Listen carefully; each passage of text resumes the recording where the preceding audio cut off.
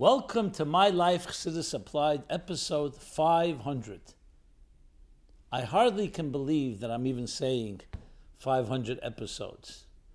I remember like yesterday when we began this program, a little more than 10 years ago. I thought it would last a few months, answer important questions, questions generated by you, and then we'd move on to do other projects. Little did I know that it would resonate and touch such a deep chord in so many. And the best indicator was the amount of questions that began pouring in and the type of questions from the most personal, most sensitive, most raw, painful often, but also very positive ones literally covering the entire spectrum of life. So Teidela Hashem, I thank God, thank the Rebbe, Chassidus, all the Rabbeim, to have given me the honor of fulfilling this part of my shlichus, being able to try my best to provide, based on the Maimorim and the Sichos and the directives and the Yechidus and the private audiences and the letters, and the different answers of the Rabbeim to address the most pressing and most important questions of our lives. And here we are, 500 episodes later.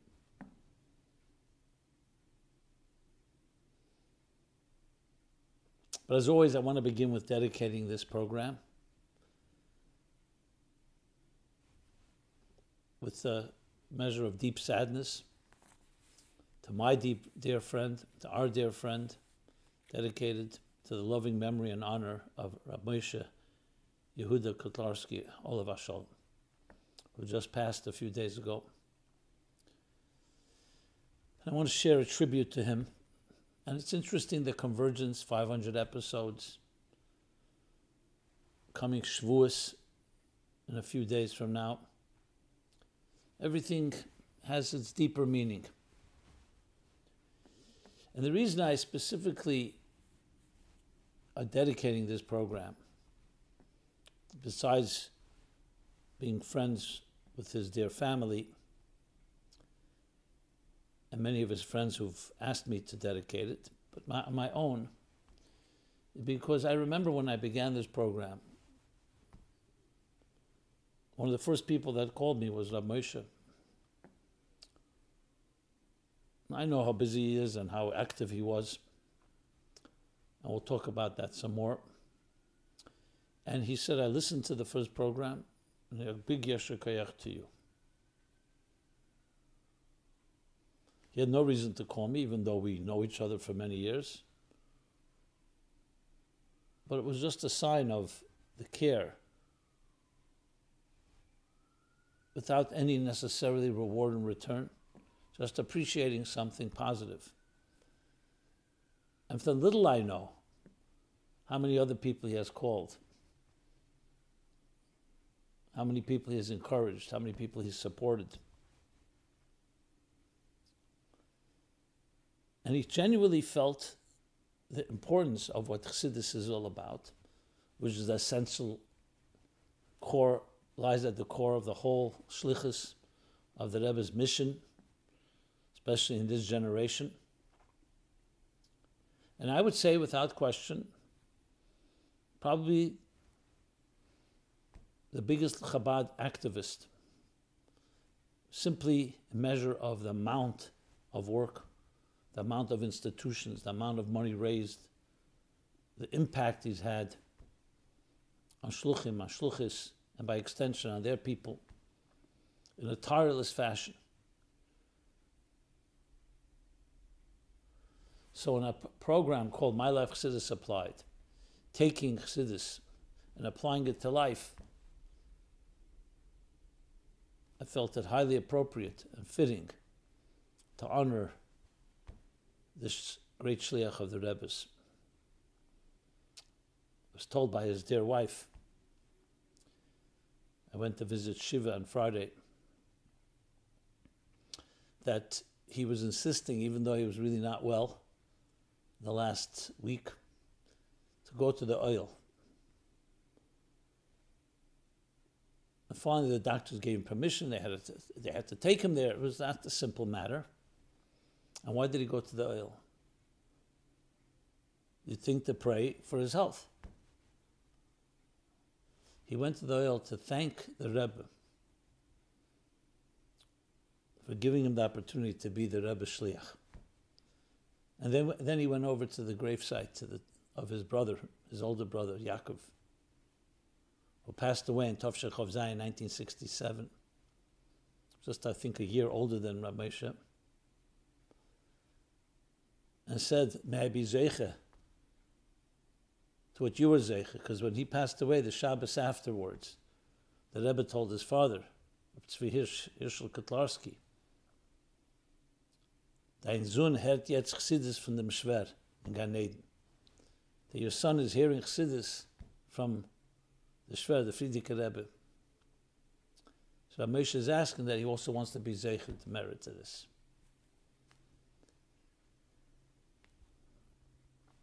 I don't want to say a eulogy here, not looking to laud anyone, looking just simply to honor a person who dedicated his life to so many. And we may never know how many, because it wasn't done with any fanfare. Just the few, as I said, the little that I know, tremendous impact. I mean, we're talking about people who he didn't even know personally, a shliach that needed to close on a building, sent wires a million dollars, or even more. Person trusted by some of the wealthiest philanthropists because he didn't touch, didn't take one penny for himself.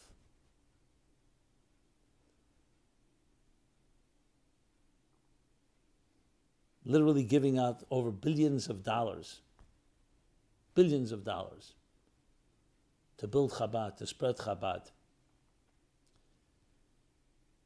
And above all, the lessons that we need to learn from this. You know, I think back the last 30 years, Gimel Tammuz, a sad day. So this year will be 30, 30 years. And many people, deep confusion, some people even somewhat resigned, didn't know what to do, what should be done. To the credit of Shluchim, Shluchim all continued working. But if you want a living example, Moshe continued, not only continued, but was like a total dedicated soldier to continue to grow. I don't know how many institutions, hundreds, were established in those these 30 years. So watching that close up, quite impressive. There are many excuses. Do we have exact guidance and direction? Would the Rebbe want this? Would the Rebbe want? But a certain fortitude conviction, even when others have doubts, to know what the mission is, to not uphold the kavod and the honor of a shliach of Chabad, to not compromise in many areas. And despite many challenges, I saw a man that did not rest. That's a tremendous lesson for our times a person who had both the capacity to raise tremendous amount of money, to delegate, and to build many programs, while also having the personal touch. The personal touch of calling someone, knowing exactly what is going on in their personal life, their family's life, caring.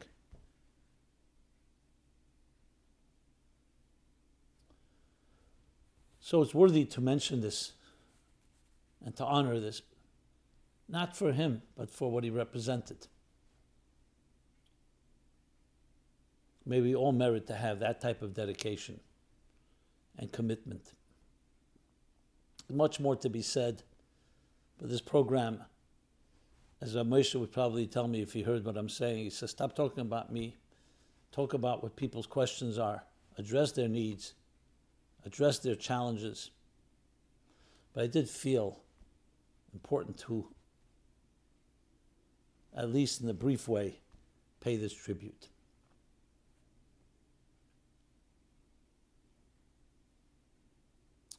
May we be zeicher to the fulfillment of what the Rebbe said, Shliach together with the ten koiches, a Shliach with the number ten equals Mashiach, be reunited with the Rebbe, with all the Shluchim, with Rabbi Moshe, with all our loved ones, with the Gula Hamitis Vashlema as we finish the job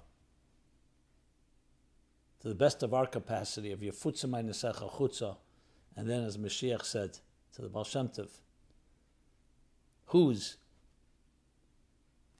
Yartzeit is on Shavuos, Kishifutzamai Nesecha Chutza, then will be Osimar Do Malka Mashiach.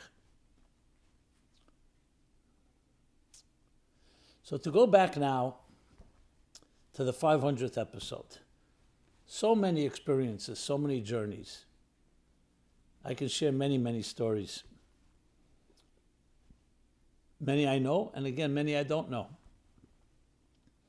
But to me, it's a personal honor.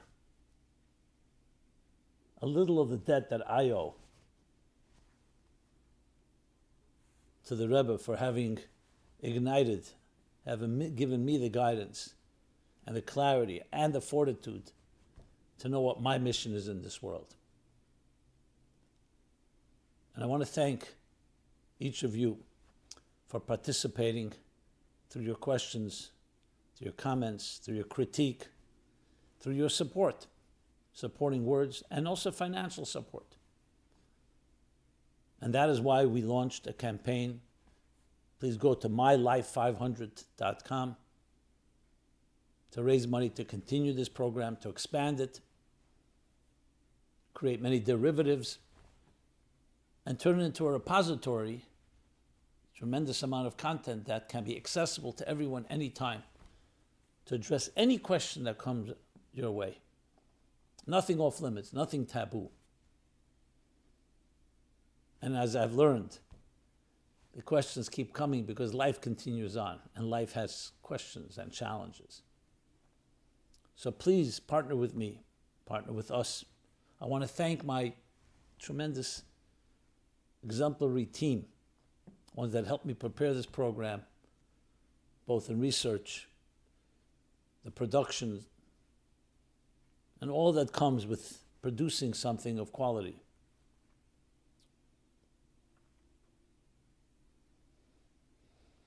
And I want to thank all those that participated in the contest that we ran for a number of years. And we hope to continue to run. And above all, as I said already, to thank the Rabbeim and the Rebbe specifically, gave us these treasures, these resources, to help us direct, guide, empower to live the most meaningful possible life, aligned with God's plan for us, for each one of us.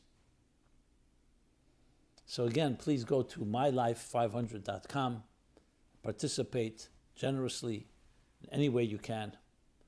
Deeply, deeply appreciate it.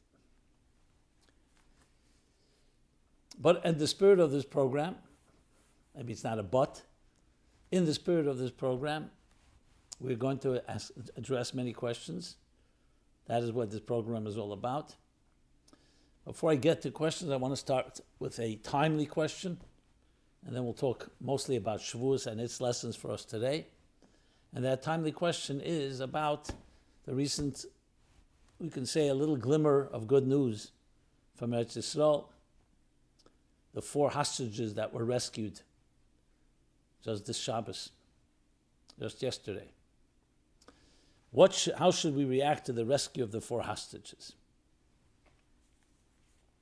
Well, the first thing, as we've seen, the celebration of their families, of Israel in general, with all that we've gone through and a lot of pain, a lot of loss, a lot of disappointment, and seeing this drag on. So to get such a piece of news, that to have rescued four hostages after all these months, eight months, is definitely something to be makir to recognize and thank God for. Because it's definitely a miracle. Even though Israeli forces are brilliant and they're tremendous in their strategies. But it's a miracle. It's a miracle. Because you can imagine the enemy Yamach Shemam have taken the hostages and put placed them amidst civilians all over. That's why you don't find them in one place. So to be able to pinpoint them and rescue them without them being harmed. Now we hope and pray that this should happen with all the rest of the hostages and this war should come to a quick end, but an end, a proper end, eliminating the enemy Mikol V'Kol completely. It also shows the hand of Hashem, timing. The world, of course, we cannot trust. Look how they criticize. They criticize Israel for saving their hostages, for saving their own people. Others may have been killed, others were killed. We, we don't even know. They call the Gaza, the Gaza Palestinian health authorities. Who's the health authorities in Gaza? Hamas. So why don't they just say the terrorist group called Hamas said that people were killed in the process of saving hostages that Hamas took? So instead of focusing on the criminals, you're talking about the rescuers. I mean, it would be like blaming the Jews instead of the Nazis for trying to free themselves from the concentration camps. But I think I don't have to convince anyone of that. So we can't trust that world. But here you see talks and pressure of ceasefires. A ceasefire, as we know, is one way to create a ceasefire. The enemy surrenders, returns all the hostages, stops calling for the destruction of Israel. So God helps that just in the middle of all of that, this little piece of good news comes our way, which hopefully brings some clarity to the right people not to pursue these false attempts for Hamas to win this ba- battle, God forbid. So that's the second thing we learn from it. And the third is that we do not give up. We forge ahead with strength. You don't negotiate with Nazis, with criminals. It's just not you do what you have to do. Hopefully, they can identify and find where these hostages are and then decimate the enemy entirely. The world's going to scream no matter what you do, so you might as well do what has to be done. And of course, then comes the longer term objectives, which requires a total transformation of the Muslim Arab attitude, including their education, what they teach their children, but that's not for discuss right now. That we've discussed in the past, we will discuss, and hopefully it will be fulfilled.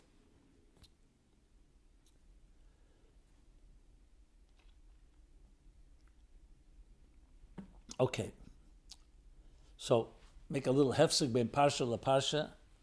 What we want to talk about is primarily going now forth into Shavuos, Zman Matan Teresik. 3,336 years ago. The Yidden stood at Har Sinai and received the Torah, God's mandate.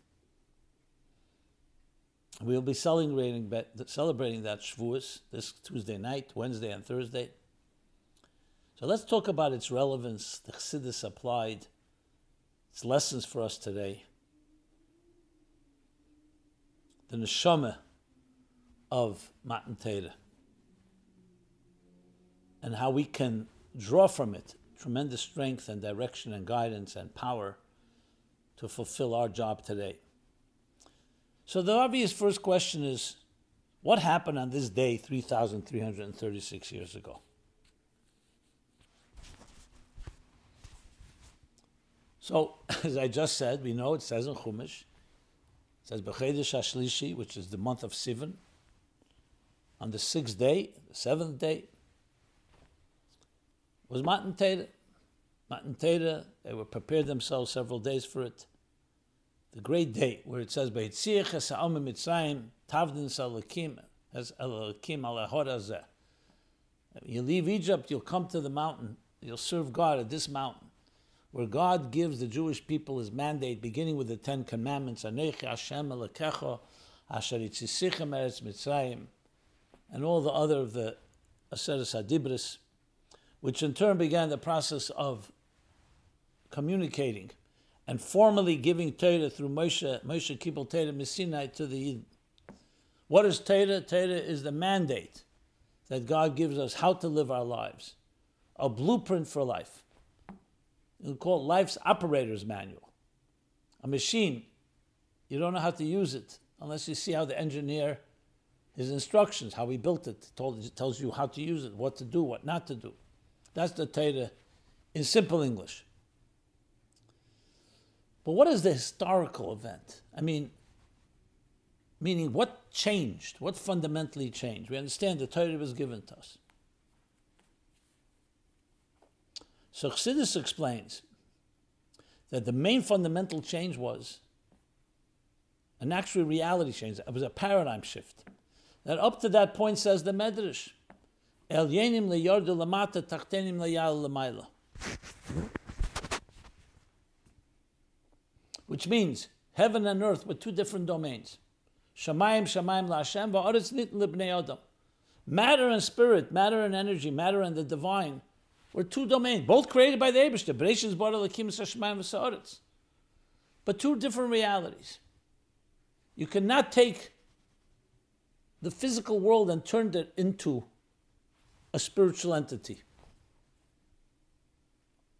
So, as much as the Ovis, the patriarchs and the matriarchs serve God, and they learned and followed Torah as much as it says even before it was given, but because it wasn't given yet, they, this bridge, this schism, this dissonance between material and spiritual was not bridged.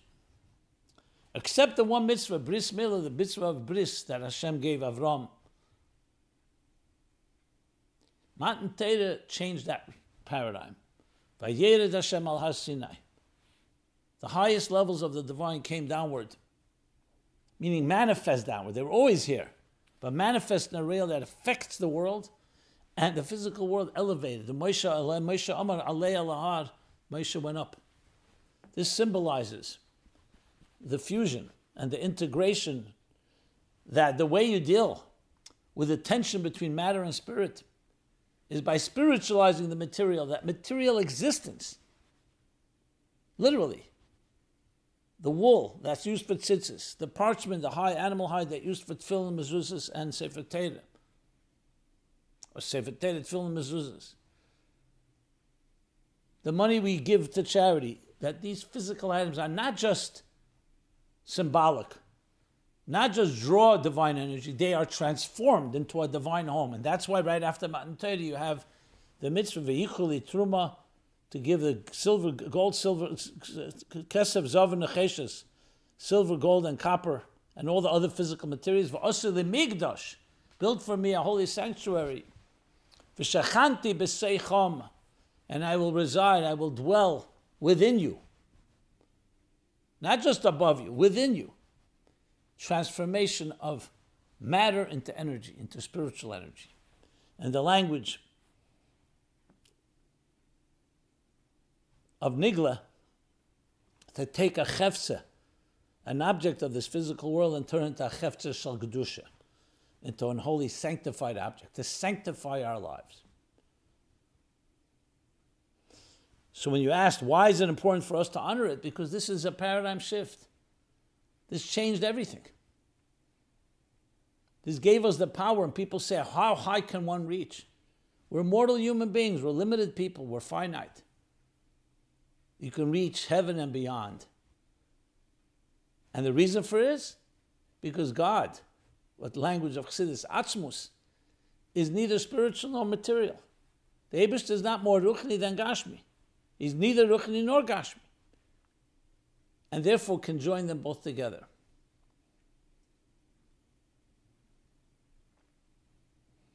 And this is what we honor 3,336 years later, the anniversary of that event, because every year it's renewed as it was back then and in a, and in a more powerful fashion. So, what is Torah then, based on this? We know Torah is a set of laws that includes what we're supposed to do, what we're supposed to not do, what we have to avoid. Torah also tells us stories, tells us the narrative from beginning of creation, story of Adam and Eve, those generations, the story of Noach, Avram Avinu, Avram and Sarah, Yitzchak and Rivka, and so on. Story of Yitzis Mitzrayim, the journeys through the wilderness, the story of Matan Torah. But what is Torah Be'etzim? What's Torah Be'etzim? So the answer briefly, as I said before, is the blueprint for life. It says God looked into the Torah and with that he created existence. So if you want to know how to live life, you have to look at the blueprint. That's what the Zohar says. It's talking about Isa Bara Alma. God looked into the Torah and created the world. Kach barnaso to a person, when he looks into Torah, learns Torah, kayam alma, he preserves and holds up the world. That's on a very more basic level. So the laws of Torah and its narrative and its personalities and so on are all part of this blueprint. But is that all that Torah is? As one person wrote,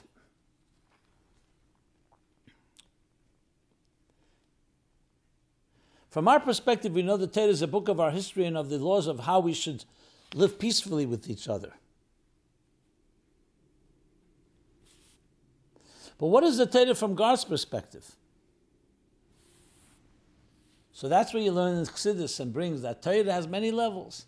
There's Torah that's given to us as a blueprint with which God created the world. He looked into the Torah, it said, there should be light. He created light according to the blueprint.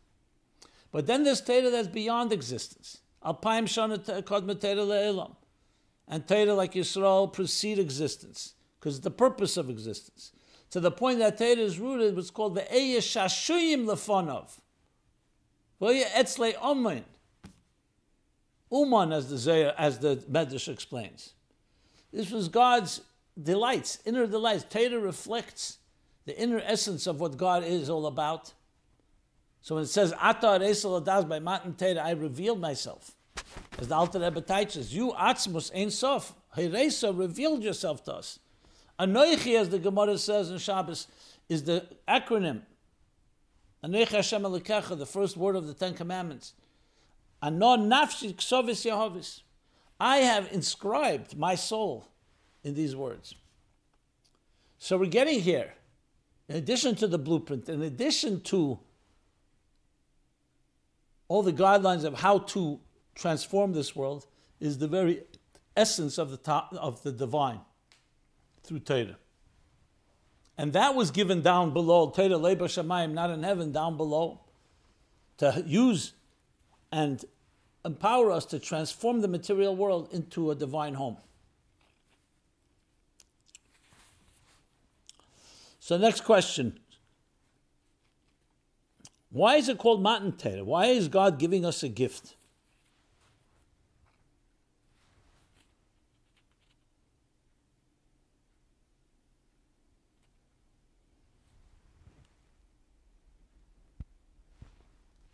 Matan Torah, the word matan can be translated as a gift of the Torah, like Hashem is giving us a present. But why would Hashem buy us a present? We should be giving Him a present as a thank you for creating us and giving us a beautiful world to live in. And the answer is very clear. It is a gift. Chem de Gnuza, the Gemara calls it, a hidden treasure. To the point that the angels actually protested and said, Why are you giving it to the inferior human race? Give it to us. We'll sing your praises. To the point where Moshe has to answer, as Hashem tells Moshe, instructs him to answer. The Torah was not given for angels, but you in Mitzrayim. The Torah says, I took, them out, took them out of Mitzrayim. Do you have parents? Do you have a temptation to want to steal or murder? Because the purpose of Torah is Savar Kadosh Baruch Hu, God desired to have a dira betachtenim, a home for the divine down in the lowest of worlds, and that's what Torah was given. So the etzem of Torah is to be transform this existence. This doesn't mean Torah is this, is commensurate to existence. It means because Torah is so much beyond, that's why it can transform existence. So that's a gift. That's a gift from above. There's the efforts we make to make a keli, prepare ourselves, and then there's the gift that comes from above.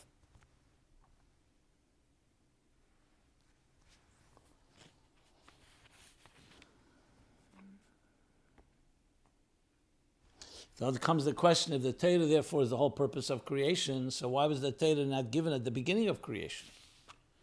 If the purpose of creation was for mankind to make an abode, a home for God in the physical world by studying and obeying the laws of God's Torah, why did God wait until the year 2448 to actually give the Torah? That would mean Adam and Eve, Noach, and even Avram didn't get a chance to study the Torah.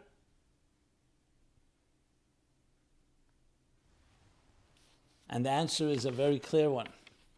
Remember, the kavana is that we should transform this world. So the way Hashem made it was He created a world. And think of it like infancy. Children start growing. You train them, you educate them.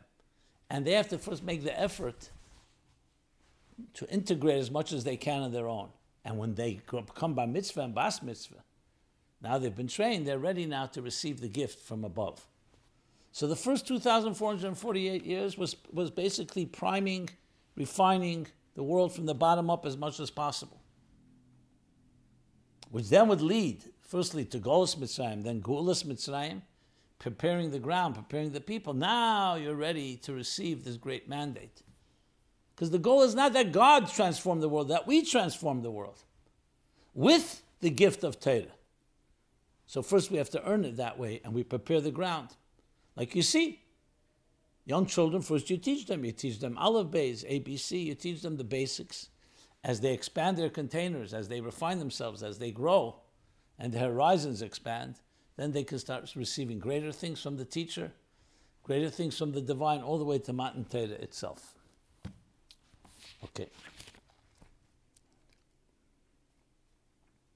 So now comes the question the other way around. So if that's the case, why did the Jews have to restrain themselves for three days before Matan Torah? We know there's the Shleishis Bola, which we're in right now. So if the purpose of creation is that man is to bring Torah in this world and transform this world. So why is there a mitzvah of Prusha, Prisha, to separate and avoid being more ascetic, which seems to be the opposite direction? And the answer, a beautiful answer that Rebbe speaks about in some number of Sichos, is because this is the delicate balance that we have to always try to master. The balance between engaging and remaining apart. Because on one hand, yes, we need to engage in the Torah's given dafka in this world. Asceticism is not an option. But sometimes when you are too passionate about it, you could also get burned. And you have to know when you teach a child, for example, you have to have a measure of extension, expressing, but also restraint so the student can receive it properly. So when it came to the, the excitement that was all building up for Matan Torah, the Abishta says, tread carefully, step by step, integrate. We call Rotze V'shuv, tension and resolution. Get closer a bit, internalize it. Don't jump too quickly. That way, like think of breathing or the heartbeat. Rotze V'shuv, contraction, expansion. Exhale, inhale. So, because divine and existence are so antithetical initially, we have a tzimtzum. The tzimtzum is a concealer, it creates a certain boundary. Like I said before, the gzeda, the schism, the, the dissonance between the spirit, spirit and, and spirit and matter for many generations, 26 generations, 2,448 years slowly we acclimate ourselves. As you acclimate yourself, then you can go and go into realities that are higher states and absorb it properly. Look what happened by Matan Torah. I'll call dibur v'dibur. Every word that was spoken, parcha nishmasan, the neshama is expired because it was too intense. So you see the need for this balance. Okay. Continuing on, more questions about Matan Torah. And we'll soon see how we can learn from all this regarding our times today. Why don't we dance with the Torah on Shavuos as we do on Simchas Torah? Someone writes. Last year, I asked some, I asked from fr- some friends why we dance with the Torah on Simchas Torah, but we don't dance with the Torah on Shavuos. And the consensus of opinions were that on Shavuos we got the Torah but didn't get to read it yet. Now, Simchas Torah, we finished reading it. So of course it calls for celebratory dancing. But that begs a new question. Just the fact that Hashem compiled His wisdom into the Torah and shared it with us as a gift should also be the cause of celebratory, celebratory dancing, even though we didn't start reading it yet.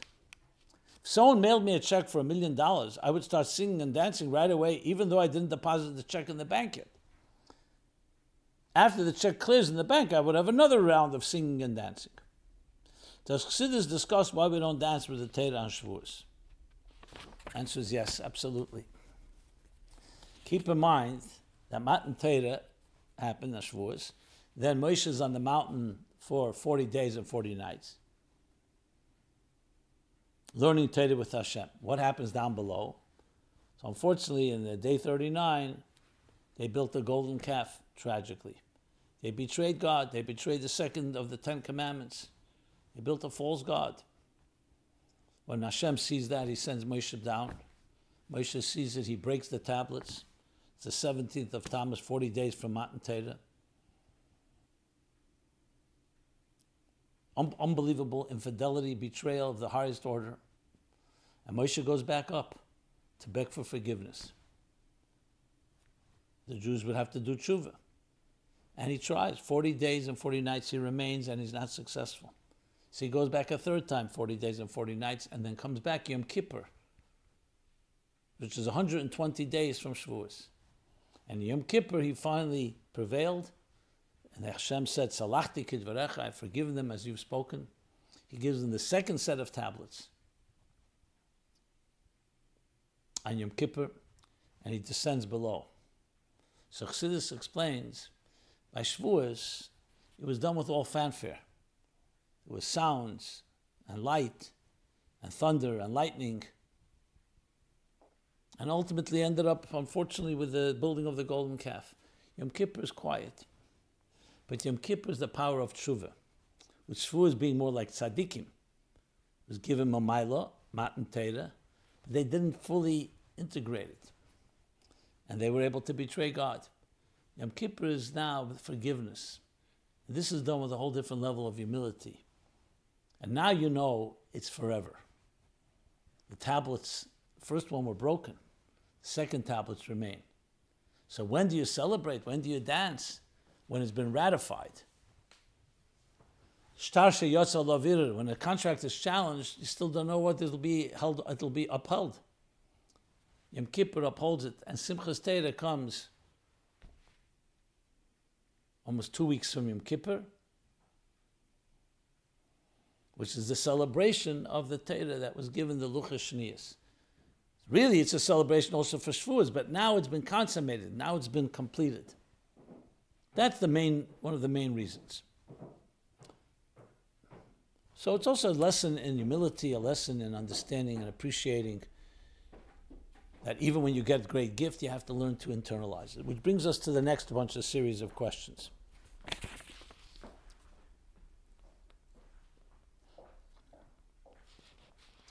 We know one of the big things that happened by Matan Torah is the saying of Naaseh and Nishma. That the Yidden said, Naaseh and Nishma, we'll do and then we'll read and, under, and hear and understand.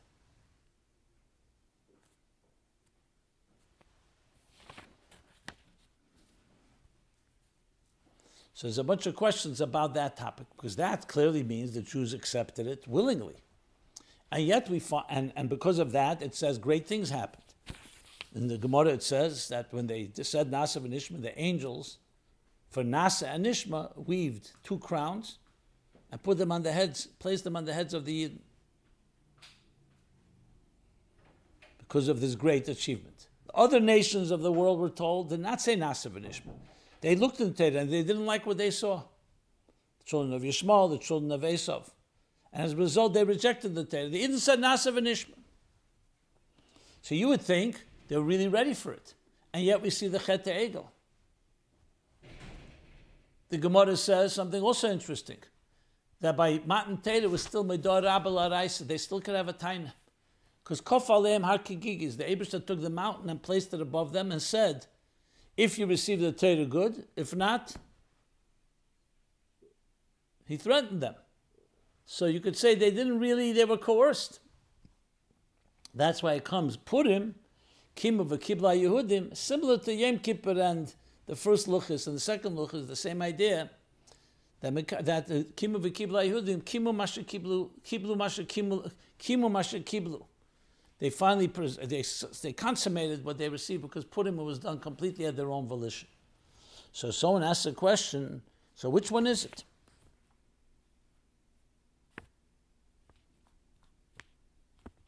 Did we receive the Torah willingly or were we coerced?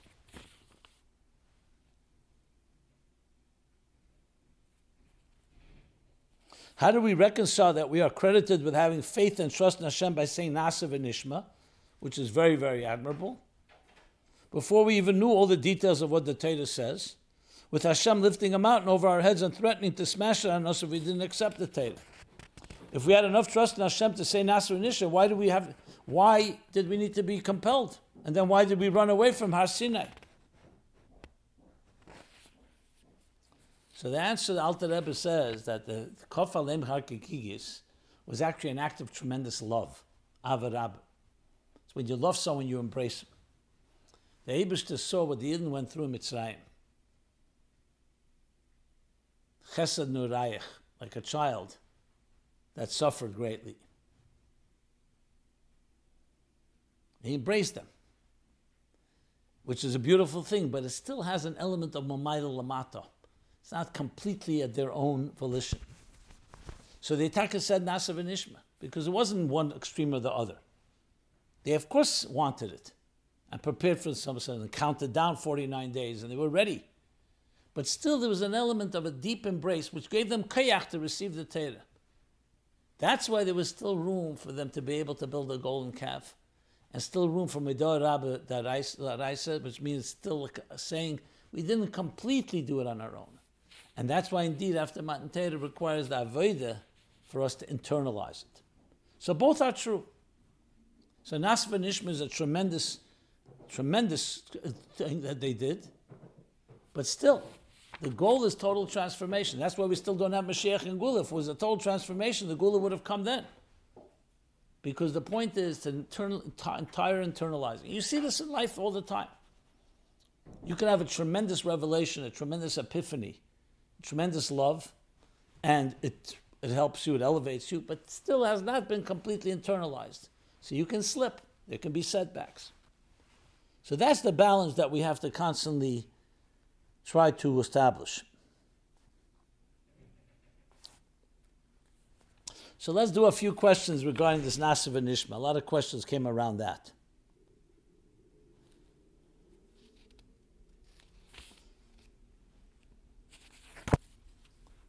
If a teaches us the entire Torah in the womb, why is it a big deal that we said Naaseh and Ishma? Why is saying Naaseh and Ishma considered such a big thing? Our neshamas and also our preborn fetuses already heard the Torah. So saying we will do and then we will listen is not entirely accurate if we have already listened to it in the womb.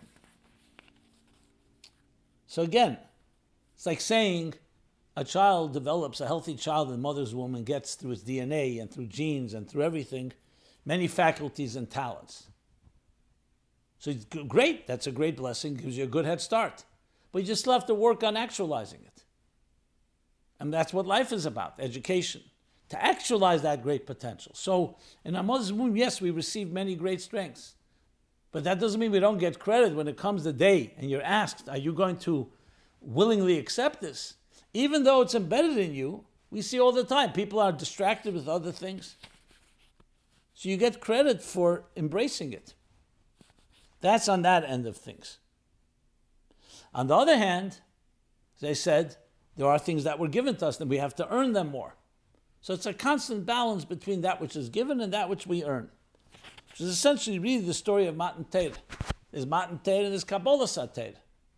Matan is the part that God gives us, and Kabbalah is that we have to accept and internalize it through Naaseh and Nishma.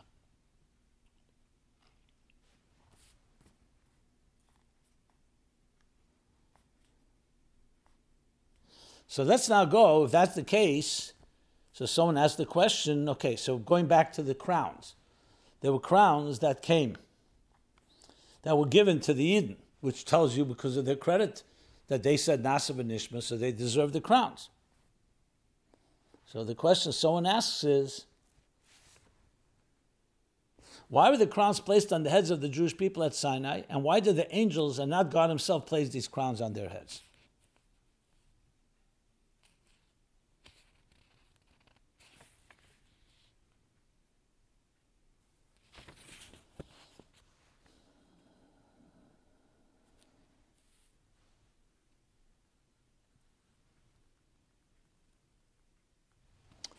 Just looking to see, someone wrote it up in more detail. Let's see the language exactly.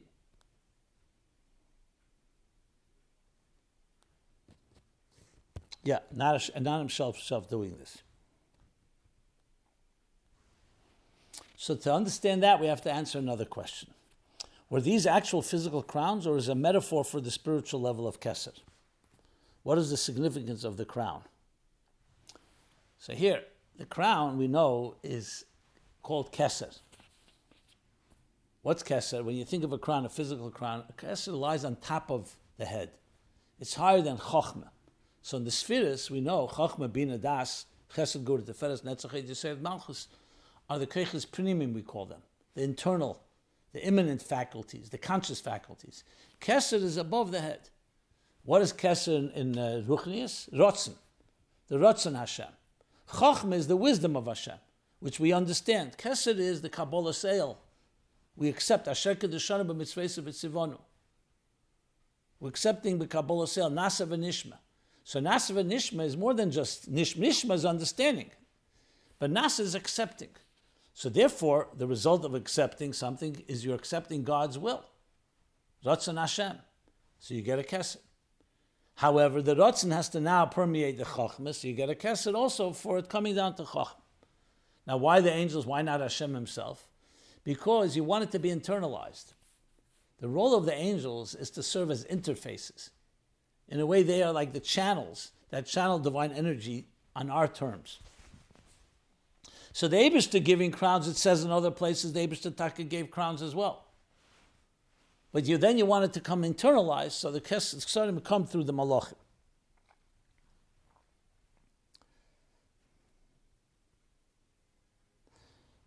Now, in Keser itself, we know there's two levels in Keser. So someone asks, what, what, what is the difference between the two levels of Keser? Arich and Atik.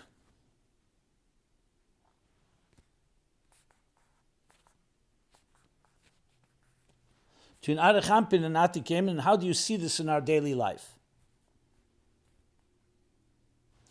So let's go back to the issue. What, what is the sphere of Kesser, which seems to be a level above the 10 spheres? What are some examples of our sphere of Kesser manifests in the world in our daily lives? So we want to have a relationship with God, both on an internal level. Our mind should understand God's mind. That's Chachma, being a Das. But there's also, we want to have a connection to God on God's level of His will. Like he explains in the beginning of Hemshech of Ayin Beis, which begins B'Shar Shekdimu. Yisrael Naaseh and Ishmael talks about the Ksarim. That Keser is Rotzen Hashem. Then you're connecting to God not as He manifests in the structure of wisdom, but His very will. It's like I want to connect because God's will. I want to know what He is on His terms, not as He relates. And you need both, both Rotzen and Chachma. So Torah is called it Tzeinev v'Chachmoseh Shal Kodesh Baruch Hu. In Ratzon itself, there's two levels, Ratzon and Tainug. Arich relates to Ratzon is more the will that Merutza, that Ratzon is the extension of his will, what he wants. Tainug is more of an internal, even in the in, in the etzem, in the level of makifim itself, it's deeper than Ratzon, it's Tainug. The Tainug Hashem, Shashrim Lefonov, as we learned before, as we discussed before. So you have both ksarim, both levels. So someone asks, being that the Rebbe Rashab began the Ayin Beis Maimon Ashvuas, and he starts it with questions about the crowns we receive for saying Naaseh and Ishmael, can we ask Rabbi Jacobson to give a brief synopsis of what these crowns are and what their relationship is to the Sfira of Keser? So basically, what I'm saying now is coming from there. But there he goes and later explains in the Maimon Vayigash of uh, Vayigash Ayin Dalit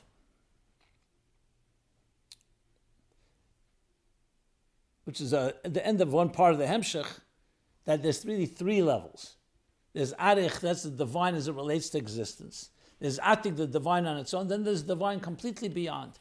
And that's the three meanings in the word Keser, as he explains in the beginning of the Hemshech, which we're not going to go into right now in detail.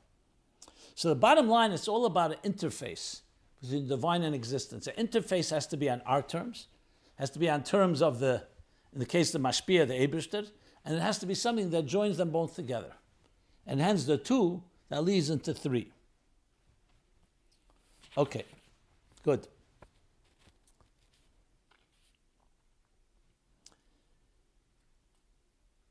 Now, let's go back to the discussion we said before that God offered the Torah to other nations, and they did not accept it, though the Yidden said Naaseh v'nishma. Why did God offer the Torah to other nations?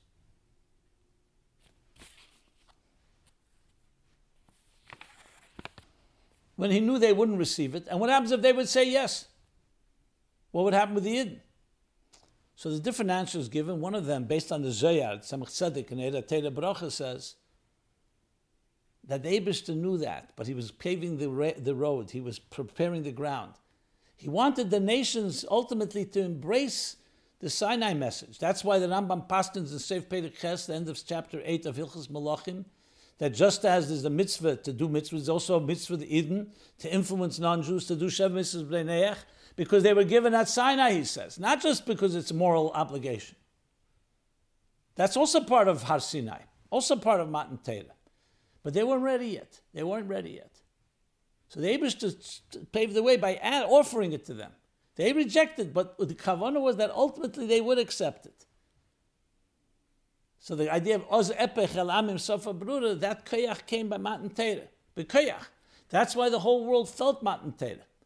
The world came crying because the whole world got silent by Matan They came, came cry, they became came running to to Bilaam. What is the silence? And he said, Hashem is Hashem Yivarech The Abish is giving Torah. Why did they need to know this? Because it wasn't just for the Yidden. It was for the whole world. It was to transform the world. So Tziprole Tziftzef, the birds were quiet. Everything came to a pause. Everything was affected. But it would take time until the nations of the world would embrace it. And Taka B'nai Esav, would embrace it, the Chatchila, like through Christianity, like the Rambam says, in Sofilchas Melachim.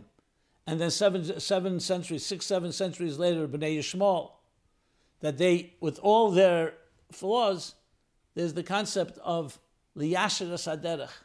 They help pave the way to Mashiach, to the belief from paganism to some form of unity of the divine, Mashiach, and so on, as the Rambam explains it's censored in some of the prints, but if you go to the Fus Remi, ironically, there the, you have the whole text. So that's uh, one of the main reasons. So then somebody says, ask like this What would have happened if Hashem offered us the Torah and we said no thanks? In other words, is it possible that the Jews would have chosen not to receive the Torah? going the other way around? The answer is absolutely not. They were ready for it, they wanted it. But someone writes, hypothetically, what would have happened if they said, no thanks, we don't take it because then we will become a target of every evil country and organization in the world that doesn't want holiness revealed in the world? Okay, one of the tongue in cheek questions, probably the same guy writes these type of questions. We would rather peacefully shepherd our animals than have to deal with violent pogroms. So, hypothetically, maybe the Jews wouldn't receive the Torah.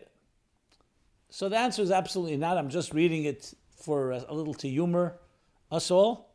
Would Hashem have just continued offering the Torah to other groups until someone agreed to take it? Or would Hashem have gone into, into become upset and threatened to destroy the world? The answer is that the Torah was going to be received, the condition of existence that Torah would be received, Abishter knew it would be received. And he knew the nations would reject it and the Yidden Taka Naaseh and. However, as I said, it still needs to be internalized. That's why there's still challenges. Even till today, we receive the Torah and we don't, we're far from perfect. We're Mamlechas came Vekei Kodesh, but there's still work to be done. Okay. Let's see if there are any more questions here. Okay, we'll talk about a few other things now that we've covered that. But first, I want to just take a lesson from all of this. The lesson is like this number one, how many people can say that they have a mandate given to us? Literally 3,336 years, in an unbroken chain, a Meseda, Tereshib Iksav and Tereshib and everything that has happened in between over these generations. A Torah that traveled with us, that gave us the power to deal with every challenge. So, number one, we need to know what we have. We have a tremendous eternal tree of life that gives us life. At the same time, we have to know that our job is to internalize Ted. As much as possible. It should refine our personal lives. It should refine our relationships. It should refine our interactions. The fact that we still have some battles to fight means it's not fully, but it's right close to it.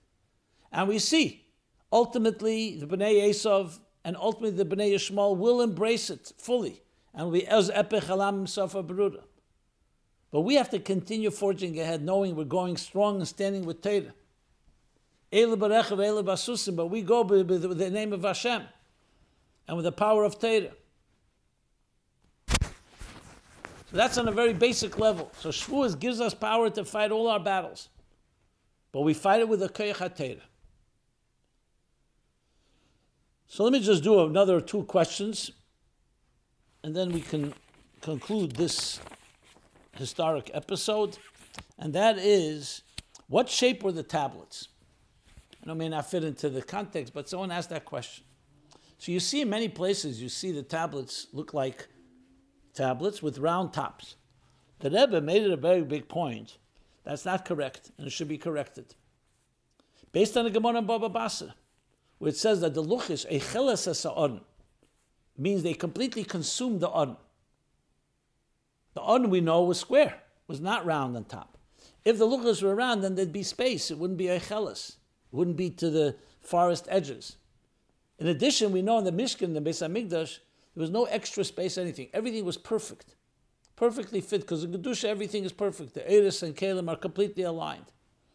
So based on this Gemara, you have to say, just like the Aron was square, the, the, the Luchas was square. Now, why is that the case? So again, it's a certain element of perfection.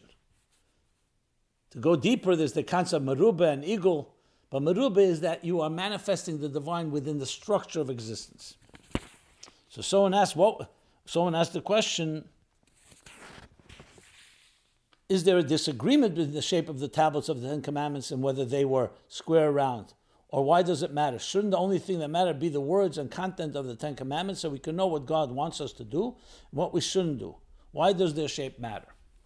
So obviously the main thing is, of course, the contents. But shape matters because the shape indicates things. Like I just said, the Kedusha, you don't want to have any extra space. And squares, I said, fo- focuses on integration. That's the key thing with when you're talking about a square. In a circle, there's no top and bottom. Even though this isn't a complete circle, but the top would be circular. That's the basic answer.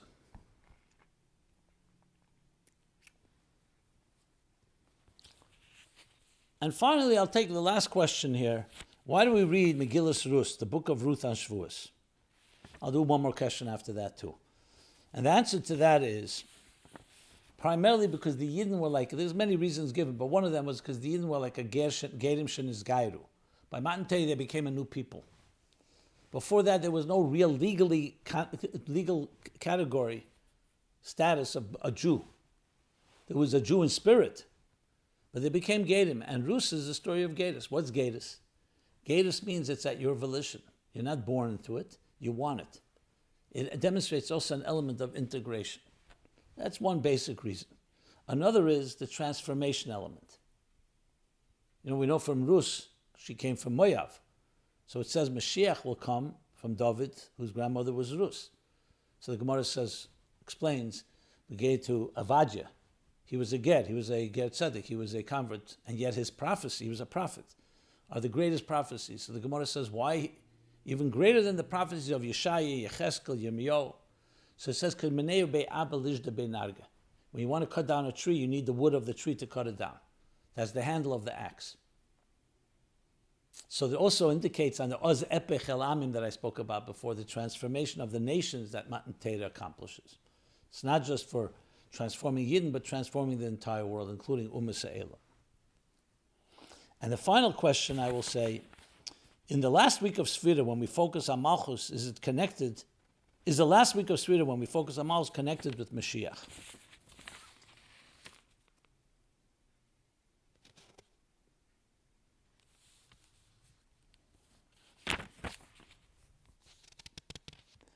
Since we are taught Mashiach is supposed to be a king, has the Rebbe ever said that the week of Sfira, where we refine all the dimensions of Malchus, would be a perfect time for Mashiach to come? The answer is absolutely yes. After seven weeks of counting, the last week is Malchus. And makes sense because Malchus leads us into Matan Torah. Matan Torah is the beginning of Ikvar Hoyel Me'enze, but Matan Torah says the Alter Rebbe in chapter 36 in Tanya, a taste of the Geula. So after finishing refining Chesed, Gevurah, Teferes, Netzach, Ched, Yosei, we come to Malchus. And to Malchus Sheba Malchus, which leads us right into Matan Torah, the Yom HaChamishim, the 50th day, which is the Gilui of Matan Torah. So it's very appropriate for that. And after 3,336 years, we now have the ability to say we're at the threshold. Otot. Just one more drop, and we shall come to the complete conclusion of this marathon called Golus and march into the Geula Amitis Vashlema.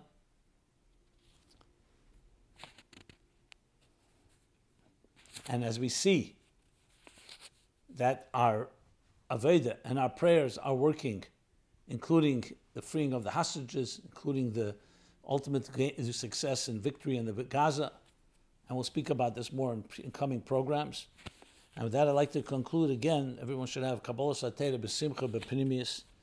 Especially Hashem should protect our holy soldiers in the Holy Land who are defending and sacrificing themselves to protect men, women, and children. Hashem should protect them, Yidden everywhere. And we should indeed, even before Matan Torah, march into the Geula Mitzvah Vashlema, will be Zechet to Teda Chadoshim Teitze, and a whole new paradigm, a whole new reality of total peace and harmony in this world. Everyone have a Freilich in Yontif. We're here every Sunday, 8 to 9 p.m. This has been My Life Chassidus Applied, episode 500. And please, partner with us in honor of Yom Tov coming up, in honor of this special program, mylife500.com. Gener- uh, donate generously so we can continue to grow these programs in reach, in quantity, and in quality. A good Yontif and a good Tamid.